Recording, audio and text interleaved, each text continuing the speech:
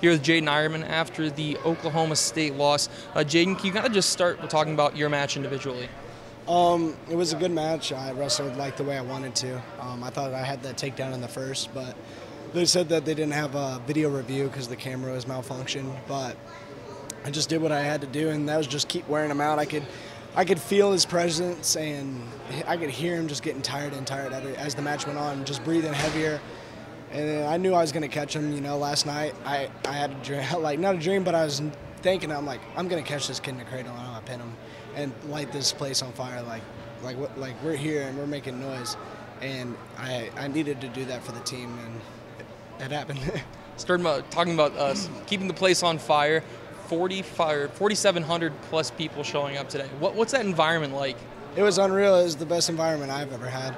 You know, the fans got energetic with us, and I think people are starting to realize that Mizzou's really good at wrestling around the state, and kids at school are going to show up, but we're, you know, we're right here with them, everyone.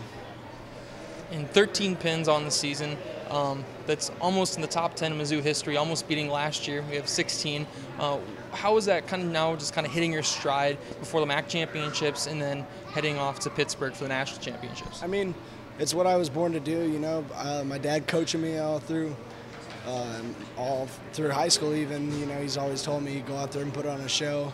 And you know more points the better and pins are always exciting you know nobody wants to see a good 1-0 match but it was good to get out there and get get our team going you know it was good to get our uh, lineup going you know we needed that like spark plug at the beginning and luckily I was able to do that. Senior day uh, for Daniel Lewis John Ernestine Nick Nazenbetty what can you say about those guys? They're great guys. You know, outside the wrestling room and inside the wrestling room, they're just great guys. They're always battling uh, every single day, working their hardest, and just they're just awesome guys. And I was glad to be around them for three years. So it's just amazing. And then finally, you guys finished the regular season off at Iowa State next weekend. Uh, what are your thoughts on the match? Um, you know, I'm just excited to go out there to go out there and compete. Uh, we're going to go out there and battle our hardest. I get to see uh, my best friend Willie. Uh, he, he moved away, and I'm just excited to go see him and do what we love. You know, we've, we've done this all year. There's no need to change anything up. We're just going to go out there and battle. All right. Jaydin Eierman after his pin. Thanks, Jaydin. Thank.